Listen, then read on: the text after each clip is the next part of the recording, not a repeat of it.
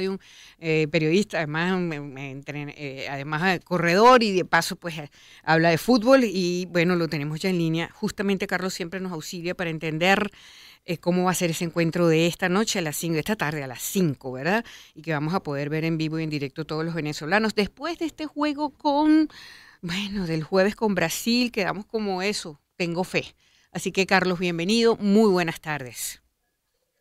Hola, ¿cómo estás, Graciela? Qué gusto estar en tu programa a esta hora y bueno, con un sol abrasador en Maturín a esta hora, ya perfilándonos eh, a lo que va a ser ese partido a las 5 en punto de la tarde de Venezuela recibiendo aquí en este escenario a Chile, ¿no? Sí, señor. Algo realmente con una ciudad que se decretó no laborable, el gobernador eh, decretó no laborable este día aquí en, en Maturín y bueno, la gente realmente abocada a apoyar a la selección hoy aquí en este escenario.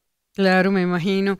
No, bueno, es que los triunfos han sido allí, entonces pues todo el mundo está como loco. Y, bueno, también en Brasil, obviamente, pero eh, pero eso hace que la gente, bueno, recupere la fe un poco. ¿Cómo, cómo estás viendo el, panorama, Carlos, después de esta victoria del jueves pasado, eh, rompiendo los venezolanos la cadena de 15 victorias de Brasil? Pues imagínate, Bello hizo esa chilena, que quedamos locos, ¿no? Con un empate de uno a uno a Brasil, imagínate lo que eso significa. Bueno, ¿cómo, cómo estás viendo la situación luego de eso? A ver.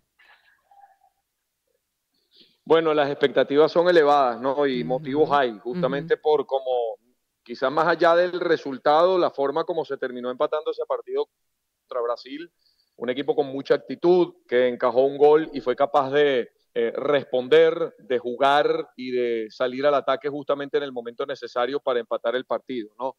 Fue un encuentro de los eh, quizás mejor jugados por Venezuela últimos tiempos y eso mm, pues la gente se ha ilusionado a partir de ahí y pretende que hoy también la presentación sea justo para llevarse los tres puntos contra Chile, que es un rival directo en la tabla. De hecho, en este momento ambas selecciones tienen cuatro puntos, Venezuela tiene mejor graveraje, es un rival directo Chile en esa pugna por la clasificación al Mundial y por eso es que en condición de local Venezuela no debería extraviar eh, puntos y se espera pues que hoy Venezuela pudiera alcanzar una victoria, ¿no? Es lo que todo el mundo quiere, lo que se espera, justamente para tratar de llegar aquí a noviembre con siete puntos, que colocaría a Venezuela en una posición muy ventajosa en la tabla con respecto a selecciones como Argentina y Brasil, que están en, otro estrato, son equipos que prácticamente tienen su clasificación asegurada al Mundial, y pues eh, Venezuela estaría en ese grupo de, equipos que tratarían de aprovechar el cuarto, el quinto lugar, ¿no? Y quedar con siete puntos indica que estaríamos por encima de lo esperado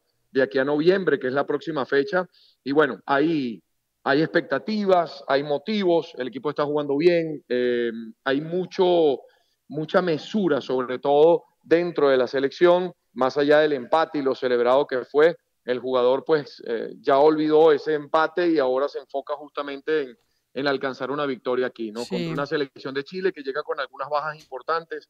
Cuatro futbolistas titulares no van a estar eh, en la presentación en esta tarde. Sin embargo, es un equipo que históricamente le ha hecho mucho daño a Venezuela. Eso te iba a decir, hay antecedentes. Hay antecedentes allí que nos han dolido a los venezolanos. A ver, ¿cómo se, se mueve eso allí con esto? Ajá. El más inmediato de la eliminatoria pasada pues fue una victoria de Venezuela en Caracas, ¿no? Justo cuando se jugaba sin público, por el tema pandemia. Venezuela logró eh, quitarse ese yugo eterno que tenía eh, Chile cada vez que visitaba territorio nacional. Es un equipo que eh, en Pueblo Nuevo, en Puerto La Cruz, se llevó victorias en momentos cruciales donde Venezuela estaba en muy buen momento, ¿no? Hoy, se tratará de no, de no repetir una situación similar a, a aquella, ¿no? Sí, porque bueno, quedamos todos como golpeados en esa oportunidad, pero entiendo que Chile viene de derrotar 2 a 0 a Perú, Carlos. Sí, su primera victoria en la eliminatoria. Como te digo, tiene la misma cantidad de puntos que Venezuela, producto de una victoria, un empate y una derrota.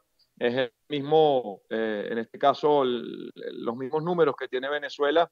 Sin embargo, el gol averaje le da eh, una pequeña ventaja a Venezuela en la tabla de posiciones, ¿no? Hoy, hoy, en este momento, antes de que comience la fecha número 4 de la eliminatoria, Venezuela está en puestos de clasificación mundialista y la idea es, no es, eh, la idea es que no se salga de ahí, de ahí hasta que hasta que lleguemos al tramo final. Esto es una ruta muy larga, son dos años de competencia.